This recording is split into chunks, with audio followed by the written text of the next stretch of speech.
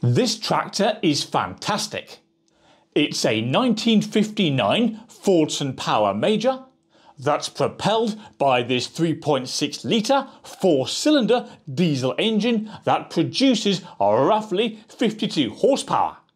This tractor also has 6-speed manual transmission, live drive hydraulics and this luxurious seat that's guaranteed to keep you comfortable. Rumours suggest it also has satellite navigation, but I get a funny feeling that's not true. Call me paranoid.